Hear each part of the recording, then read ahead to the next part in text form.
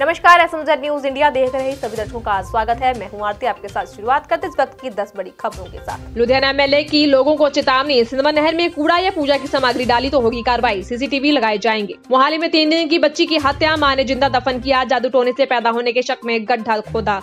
और दबाया। दिल्ली में मेयर चुनाव पर बीजेपी आप का प्रदर्शन। पार्टी दफ्तर के बाहर एक दूसरे के खिलाफ धरना दिया। तीन बार टल चुका है चुनाव। रानी मुद्दे पर राहुल गांधी ने मंगलवार को सरकार को जमकर घेरा। कहा डानी और पीएम का क्या रिश्ता? कहा 2014 में अमीरों की लिस्ट में 609 नंबर पर थे। जादू हुआ और दो नंबर पर आ गए। राखी सावंत के पति आदिल को पुलिस ने किया गिरफ़्तार। राखी ने धोखा देने का लगाया आरोप। बीती रात दर्ज की थी एफआईआर। फ़ोन पे ऐसी विदेशों में भी कर सकेंगे पेमेंट ऐप में यूपीआई इंटरनेशनल एक्टिव करना होगा।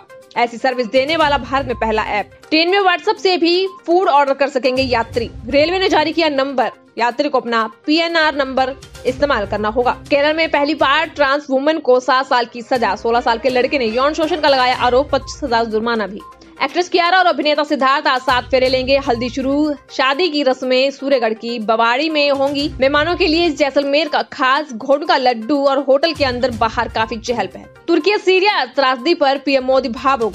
भुंज के भूकंप को याद कर रहा, जानता हूँ किस हालात में होंगे। दोनों देशों में अब तक पाँच हज़ार मौतें। ये थी अब तक की खास दस बड़ी खबरें। कल फिर हाजिर होंगे और भी नई और ताज़ा खबरों के साथ देखते रहिए एसएमजेड न्यूज़ इंडिया।